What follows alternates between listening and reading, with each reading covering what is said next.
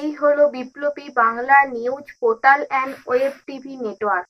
আর আপনারা দেখছেন বিপ্লবী বাংলা টিভি নিউজ। দর্শক বন্ধুরা, আজ বিপ্লবী বাংলা টিভি নিউজ এর ক্যামেরা বন্দি হলো। বাঁকুড়া জেলার জয়পুর থানা ও ব্লকের জগন্নাথপুর অঞ্চলে বিজেপি ছেড়ে তৃণমূল কংগ্রেসে যোগদান করার খবর। এই অঞ্চলের পনেরোটি পরিবার থেকে প্রায় পঞ্চাশ জন বিজেপি কর্মী তৃণমূল কংগ্রেসে যোগদান করলেন বলে জানা গেছে। তারা রাজ্যের পঞ্চায়েত দপ্তরের রাষ্ট্রমন্ত্রী শ্যামল সাঁতরা ও জয়পুর ব্লক তৃণমূল কংগ্রেসের আহ্বায়ক ইয়ামিন শেখের হাত থেকে তৃণমূলের দলীয় পতাকা তুলে নেন।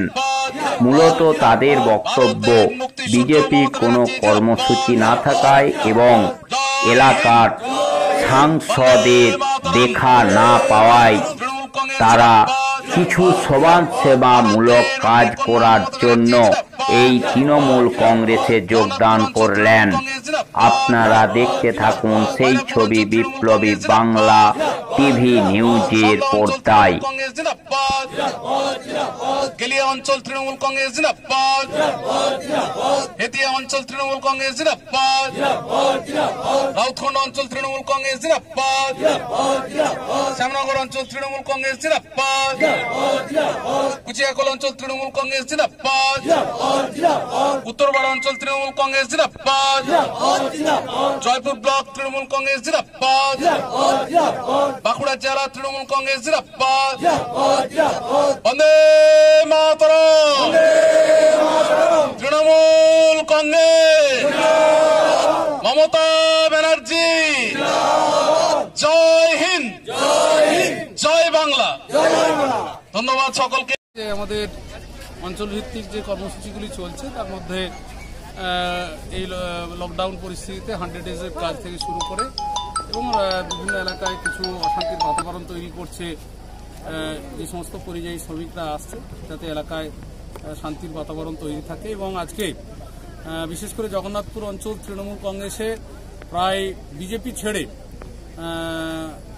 প্রায় পনেরোটি পরিবার থেকে প্রায় পঞ্চাশ থেকে পঞ্চান্ন জন আমাদের দলে যোগদান করেছে এবং তারা সক্রিয়ভাবে এসেছে এবং এসে তৃণমূল কংগ্রেসের বিভিন্ন কর্মযজ্ঞে তারা অংশগ্রহণ আজ থেকেই তারা করলেন।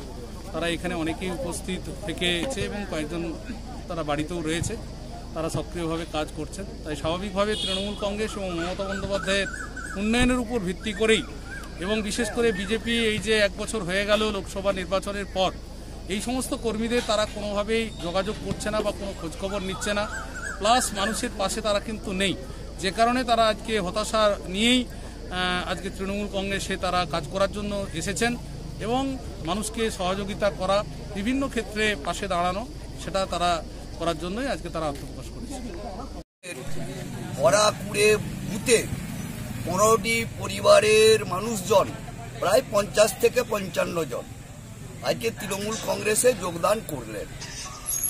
তিনারা এই কারণেই যোগদান করলেন, গত লোকসভার নির্বাচনে বিজেপি অনেক স্বপ্ন দেখিয়েছিল। আজকে লকডাউন চলছে। লকডাউনের প্রাককালে বিজেপির কোনো নেতা বা এমপি কেউ এলাকায় আসেনি। মানুষের কাছে অনেক প্রতিশ্রুতি দিয়েছিল এই সমস্ত নেতারা। কিন্তু বিজেপির কোনো নেতৃত্ব এদের কথায় আমল দেয়নি। তাই জনগণের কাছে কোনো পরিষেবা এরা পৌঁছাতে পারেনি। অথচ তৃণমূল কংগ্রেস বিভিন্ন পাড়ায় বিভিন্ন গ্রামে গরিব মানুষের পাশে দাঁড়িয়ে দলের পক্ষ থেকে পরিষেবা দিচ্ছে চাল ডাল সাবান সয়াবিন সবজি এগুলো দিচ্ছে। এইটা করতে না পেরে এই সমস্ত মানুষজন আজকে তৃণমূল কংগ্রেসে যোগদান করলেন। আপনার নাম? আমার নাম ইয়ামিন শেখ আমি আমি জয়পুর ব্লক তৃণমূল কংগ্রেসের কনভেনার তো আপনারা হচ্ছেন আমাদের তৃণমূল কংগ্রেসের আসল শক্তি। কারণ আমরা দু হাজার উনিশের লোকসভায় বুথের পালসটা আমরা বুঝতে পারিনি। বুথের কি খবর আছে? আমরা একটা রিভিউ মিটিং করলেও জয়পুরেতে। সেখানে প্রত্যেক বুথ থেকে আপনারা বলেছিলেন, কেউ তিনশো ভোটে লিড দেবেন, কেউ দুশো ভোটে লিড দেবেন, বা কেউ বলেছিলেন তিরিশ ভোটে লিড দেবেন। কিন্তু আমরা সেই হিসাব কিন্তু মিলেনি। মিলেনি মিলেছে কি? মিলেনি। কোনো হিসাব কিন্তু মিলেনি। পুরো হিসাব কিন্তু উল্টে গেছে। সেটা কি করেছে? একটা ভোট ভেতরে ভেতরে বিজেপিকে ট্রান্সফার করেছে যেটা আমরা বুথ লেভেলে বুঝতে পারিনি।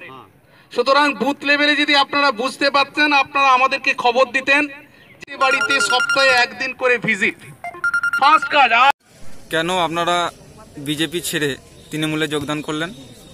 আজকে আমরা যে আশা নিয়ে বিজেপি পার্টিতে ঢুকেছিলাম, সেরকম ফলাফল বিজেপি পার্টি থেকে কিছু পাইনি, কোনো সাহায্যও পাইনি। আজকে আমাদের এমপি যে আছেন, তারও কোনো খোঁজখবর নাই, এদিকে তো আসেনি কোনো পর্যন্ত পাওয়া যায়নি।